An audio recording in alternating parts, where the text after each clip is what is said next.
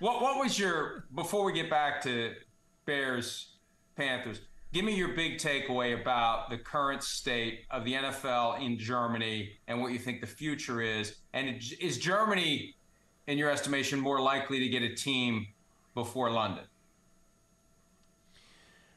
Mike, I'm just uh, I I would bet I you may live to see teams in Europe, but you know what I think they're going to do? I think okay, so next year five games, right? Three in England, one in Germany, and one in either Spain or Brazil.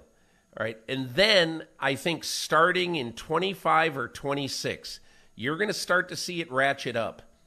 The most significant thing I can say from a news standpoint, all right, while I was there, Mark Donovan, the president of Kansas City, I was on that Chiefs championship boat, uh, this 250 foot, three story yacht that uh, might even be good enough for Daniel Snyder to step on. Uh, th- this this incredible boat that that Kansas City had fitted and painted and, and all that, and I'm sorry, wrapped, not painted in red. And Mark Donovan said to me, he goes, We don't want to wait eight years. We know what the NFL rules say. Okay? We don't want to wait eight years. We want to come back sooner than that. And Mike, you might say, oh my God, you know, Andy Reid rolling his eyes about this and all that.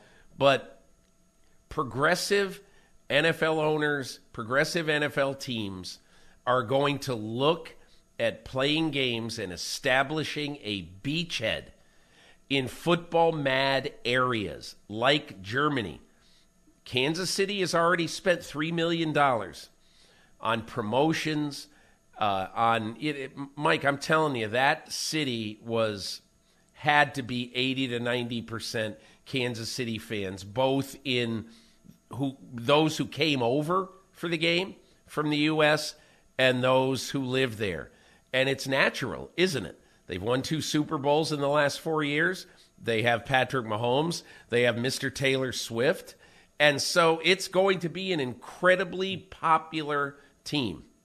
And so I think as I look at this, um, remember, Mike, 10 years ago, they every year they would say, "Well, we're trying to convince the Packers to come over. We're trying to convince this team to come over, and we'd like to see this player play over in England or play, you know, in Mexico, whatever."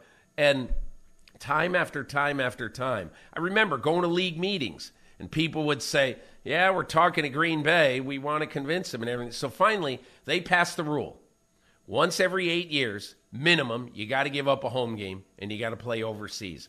But I'm telling you, the big difference in the last year or so is that teams are saying, hey, we want to go. We would like to go over there. And we should talk at some point about Australia because I don't mean to, uh, you know, to quote Elaine Benes here, but that is real and it's spectacular. And at some point soon, oh, that wasn't Elaine Benes. That was, uh, that what's her name? I think it was. Sidra. I think it was. Yeah, but, yeah, but yeah, was, yeah. I, I forget. think Elaine was the one that, that confirmed that that yeah, that said they're real and they're spectacular. Yeah, but but what I'm saying, we'll talk about Australia, which is probably four years away, but it, I think it will happen.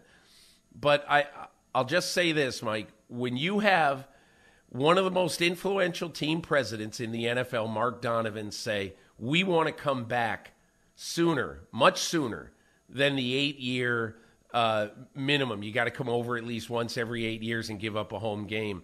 And so the way I look at this, Mike, I think we're going to see a better quality of game over in Europe, and we're going to see more teams say, make it about us. But I just don't see expansion or a team moving over there. I just, right now anyway, the logistics pre supersonic transport. If there was the Concorde, that's another issue. But because it takes eight and a half, nine hours to get there from the middle of the United States, I just think there's a lot of teams that would say we, a lot of owners would say we don't want to vote for uh, multiple teams in Europe right now. An item I posted just before the show got started about expansion. I've been talking about this all week with all the quarterback injuries, with the quality of quarterback play, with Tommy DeVito getting ready to be fed to the Cowboys on Sunday at 4:25 p.m. and Eastern. maybe to start the last half of the season for the Yes. New York Football Giants. Yes, but it begins in a game that Fox will call without irony America's game of the week. Tommy DeVito fed to the Cowboys. You can't have expansion. There aren't enough quarterbacks to go around for more than 32 teams. There aren't enough quarterbacks to go around for 32 teams as we get deeper into the season and guys get injured. Here's what I think is happening.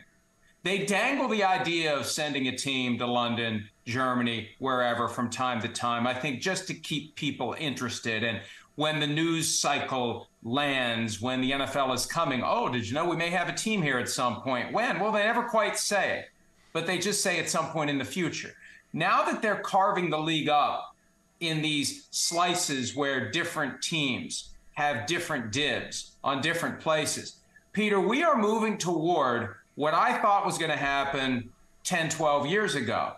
It's the shrink wrap cereal box approach, where London gets eight games and they're going to be different teams in every game. You get a tiny Yeah. little box of frosted flakes, Right. you get a tiny little box of corn pops, you get a tiny little box of special K. That one always got thrown away. You get a tiny or corn flakes or something that wasn't, you know, completely draped in sugar. That's the one that, that never got eaten. But and that was kind of like last night's game. But whatever, they'll take it. They'll take it. They'll take last night's game. They'll take Bears Panthers. They'll take what they can get. And and with 17 games, now I don't think there's going to be 17 games for long. I think we're going to be back to 18 or up to 18 by the time we get to the next decade because the NFL is going to want more. But with 17, it's perfect because you just take one home game from the conference because it flips flops each year or flip flops as the case may be. NFC has nine home games one year, AFC has nine the next. You just Right. make those neutral site games. Everybody's got eight, and you've got 16 neutral site games that you can put in Germany, in London, in Australia, in Argentina, in wherever you want to put them. And I think that's the track it's currently on. And when when teams like the Chiefs are ready to go back again sooner than later, well, okay, we got 16 to work with. We're sending four or five. We got 10 or 11 more that we can do. Let's just do 16 a year. And I think they're at the point where they could pull off 16 if they wanted to. We could have 9:30 a.m. football, assuming that the games are in Europe. It gets a little Permanently. gets a little crazy when we start going elsewhere. But in Europe, we could have 9:30 a.m. Eastern Time football most Sundays of the regular season. Mike, I had this discussion. Let's transition just for a second to your thought about a lot of games overseas. Okay. And I think you're onto something if, if, if the NFL can figure a way to make the 930 game a package. Okay. I'm not sure it'd be 16, but I think it's entirely likely that the NFL could say, okay, we're going to put eight games on in consecutive weeks during the season. And when we reopen the media contract, we are going to try to find someone. And you say, well, who would take a 9:30 a.m. package of games? Who would take a 6:30 a.m. Pacific time game? You know, in L.A. You know, uh, that's what time would come on in L.A. And and I say, you know, just just think about this for a second. In the last deal, Roger Goodell and Brian Rolapp and the owners, they said, you know, we're going to go to Amazon Prime. You know why we're going to Amazon Prime? Because streaming A is the future, which it is, and B, Amazon Prime is not a football network. It's not a sports network. It is a bunch of tech nerds who are going to figure out new and interesting ways to show the games. And the first evidence of that is what they are doing in their alternate Prime Vision feed right now every Thursday, in which using artificial intelligence and the, uh, the, the, the, the sensors that are built into each shoulder pad of every NFL player, they're basically predicting before the play, showing the all 22 and predicting who's going to blitz on this play. And it's totally, totally fascinating. And I am told that they're already thinking about okay, what bell and whistle are we going to put in next year? So the NFL, in other words, didn't go out and say to ESPN, hey, let's put these Thursday night games on ESPN 2, or let's go to some other regular traditional network and say, hey, let's go to TNT and say, hey, why don't you just show the games, same crews, same everything, and all that? No. I believe that when this thing opens back up, whatever year it is, I think it's 29, 28, or 29, that the NFL will seriously consider a package of 930 games, and that would be all of the Europe games in the course of the year. And Mike, just think about this. You know, there's there are places in Europe that really want the NFL to play. Like for instance, Dublin is Dublin desperately wants a game.